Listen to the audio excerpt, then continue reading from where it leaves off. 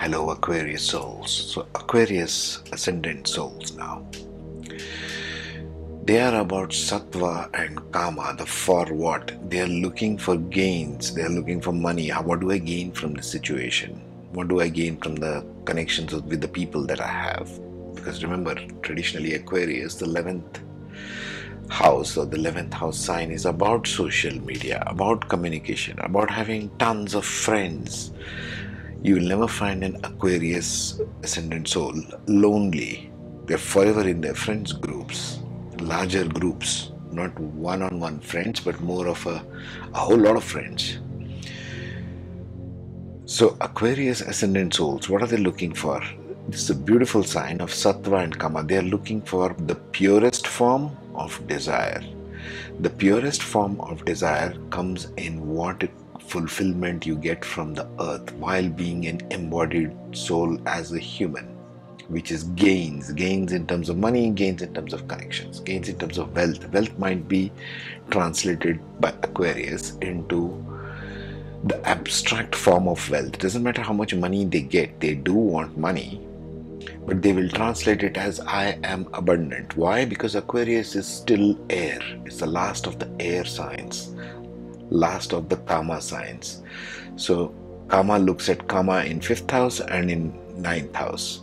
So the graduation point goes, the education point is about Gemini. They need to discover a lot of desires of skills of communication abilities.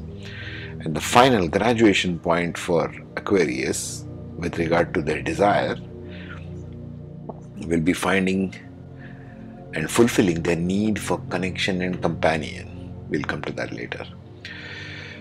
So they start with desire. These are about desires, again, the last of the uh, air signs, Aquarius, but it is still air.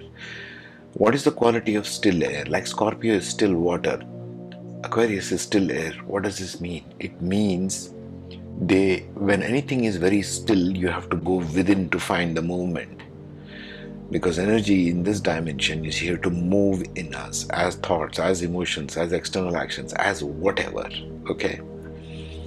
So aquarius needs to do a deep dive within themselves and they will do it through all the houses. Let's see how. In the second house we have tamas and moksha. When they come across their family because they are seeking gains and their connections. The why me, they need to get a liberation from the family itself. This is a little tough sign for Aquarius, but they are capable of it because they are very sattvic and form of desire, right? So they are looking for the purest aspect of desire. That's what Sattva and Kama do together. so Tamas and Moksha there, the why me answer requires them to liberate themselves from their ego with their family, liberate themselves from their wealth that their family has, liberate themselves from their early friends, childhood friends, liberate themselves from any aspect of ego clashes that they might have with their elder siblings, because second house also stands for elder siblings, liberate themselves from their physical beauty, because second house also stands for face okay. Face and complexion. So aquarius has this lesson going on here right in the second house. In the third house they have rajas and dharma. This is the beginning. If they do this properly then in the third house they need to find path and purpose. So in the house of skills they will look for skills which fulfill the answer to that question the why. Why do i need to do this? What is my path in life? What is my purpose? What is my direction? All these questions that the aries asks in the third house to the aquarius ascendant soul is about finding finding communication finding connection finding the skills which answer those kinds of questions for them then they move to the fourth house, one of the Kendra houses again, which is Rajas and Artha. So they are looking for means here. So Aquarius people typically look at their mother as a as means, as a resource as somebody who provides them food, cooks, cleans, a utility aspect because they are recognizing them as a resource. Taurus is landing in the fourth house. Wherever Taurus lands, they are looking for resources and abilities. Can this person provide me this thing, or can I learn this from this person? They're looking for gains and connections through this fourth house. So, home front for them becomes a place for just a resource. This is fourth house is for home. Look at how different ascendants look at different aspects of their own life. Yeah, it's very interesting. in the fifth house of education, they have the next point of Kama. They looked for connections when they were born. In the fifth house, they want to discover their skills, desires, and communication. Aquarius is non stop yammering about lots of things because they are a social bird. They want to talk, talk, talk, talk, talk to the people around them. That's how they connect with people. At this time on earth, we don't have telepathy, so the only way is you have to non-stop yammer about things in order for your point to come across. Hey, that's why YouTube and Google, right? Social media, all this stuff, Twitter. Rajas and Kama now come in fifth house. That means they have to discover skills of communication and build upon knowledge or do a college or a school degree which promotes their communication abilities in order to gain what they're looking for connections. They need better the communication. This is non negotiable for Aquarius because they are an air sign, they are about the mind it's the still air, it's the sattvic sign, so they need to constantly refine their skills. Rajas kama, so they need to constantly refine their skills of communication, skills of how they display their talents. Okay? Communication may be any number of things, it may be in video, audio, text, writing a book, it can be in any area. It's not one area or one type of communication I'm talking about. In the sixth house, daily work routines, what do they have here? They have sattva and moksha, they have cancer. They need to connect with their profession. They need to really make a heart connection with their profession and daily work if they want to succeed remember moksha points and always are common between the sixth house daily work and career 10th house in every ascendant not just aquarius. So this moksha has to graduate into that moksha. Okay. So aquarius people really need to make a heart connection not just do things because they are being done by somebody else. Although they want gains all along they need to connect with the heart if they want that success and enjoyment in daily life. Seventh house of spouse, love, interest, intimate partners, lovers has got sattva and dharma. The Leo, the why and the how. Creative intelligence, very powerful sign here in the seventh house. But they, if the Aquarius person Listen to me, Aquarians. If you need to make a connection with your spouse, if you're having difficulty with your spouse, which is very, very typical of Aquarius, Aquarius ascendants do not make very good love relationship bonds. And I'll tell you why here. The reason is because you're faced with Leo, you're faced with the Sun, who has got his own ego problems, okay? His or her. So they get typically tend to attract partners who have sattva and dharma or the Leo aspect to them, who are asking why and how, who are very creative people who have got a very high ego structure. How can you connect with them? Well, here is the hint. First, lose your own ego. Mr. Aquarius, Mrs. Aquarius, Miss Aquarius. Okay, lose your ego to connect with the partner, and I'll tell you why in a minute eighth house has got work and routines. So if you want to go get over the instability of life, focus yourself on work and routines. Instability of life is just a time period thing, folks. It just comes and goes in everyone's life. Nobody's life is completely stable. Life teaches us different things or different aspects of who we are as a soul through the instabilities. You see how this works? So get working, have proper routines for yourself, daily routines. Connect with that daily routine. Work properly, then you will be able to tide over any instability or uncertain times of life. Let me just put it that way.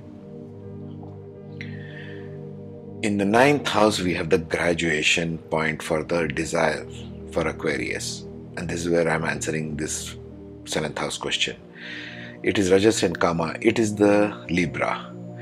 So, for Aquarius to really feel fulfilled in their partnerships, in their romance, in their marriages, first is you need to reduce their ego a little bit. Not be so stubborn, okay? Yours is not the only point of view in the world. Although you think you are because you have a very sattvic sign in the head, you have got the pure form of desire, but the ego structure needs to be let go of in order for you to connect to this one through this one through the ninth sign meaning what ninth house is for what for foreign travels for higher education philosophy of life so the aquarius person will be very good at finding romantic partners and love interest who are wiser than them these people are sattvic and it's a mind, it's an air sign. So this is going to be a tough push for Aquarian ascendants because they think they are wiser than their spouse. But in actuality, they need to make a heart connection. Rajas and Kama, the uh, Libra is where they will find their connection. So Libra comes in the ninth house, meaning you have to connect with a person who's wiser than you, maybe from a foreign land, maybe from another race, culture, religion okay? You need to develop a broad worldview, aquarians and connect with that partner. That's where you will find the fulfilling need for the connection you will find a proper companion and that will help you use your creative intelligence. That partner will help you use the creative intelligence through their wisdom by which you can grow. Okay? Because Bhavat Bhavam of the seventh house is always the first house for all ascendants. It just comes across different ways folks. So in the 10th house you have tamas and moksha. So they are secretively seeking success in their career. They don't talk about it but they are. The famous bollywood star amitabh bachchan is an aquarius ascendant and you can see this in his demeanor even in social media and everywhere. He comes across as very humble but they are secretly seeking desires. They are finding their core desires secretly not telling everyone in the 10th house of career. But if they have mastered the art of connecting with their work in the daily work sattva and moksha in the fourth house cancer is coming in the sixth house. Number 4 sign is coming in the 6th house and graduating to number 8 in 10th house. So if they make this heart connection then and only then they will know their core desires. This is how moksha graduates. First you liberate your ego learn to connect with your heart with your daily work learn to love your work basically that's what it means and then and only then you will find the last moksha point in your work although you don't tell anybody about it, but you are really proud of what you are doing secretly. The Scorpio sign. In the 11th house, you are having Sattva and Dharma, the what, where, who, the Sagittarius sign. So, higher philosophy you are seeking in the 11th house. What does this mean? The Aquarian person, because they are all about social connections, they will focus, want to get these gains a lot secretly how will you achieve that? By learning from the crowd. Your dharma, your higher philosophy and wisdom will come from the crowd.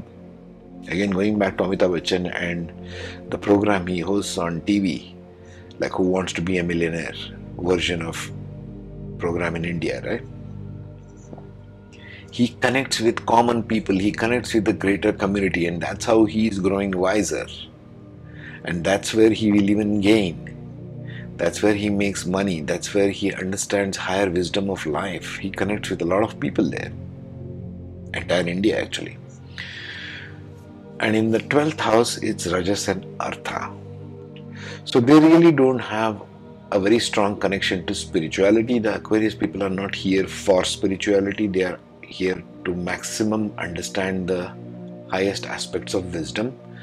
Because if you start treating the, the house of spirituality and letting go as something that you have to ground how and what and where if you're thinking of career job and business in capricorn the best they can do is maybe contribute to a charity. They don't really believe in spirituality aquarius. They might think it's all humbug. Okay? That's the way it plays out for them. All right. Take care. Be safe. Keep watching. If you're on the podcast watch the youtube channel for the presentation part and you'll understand some more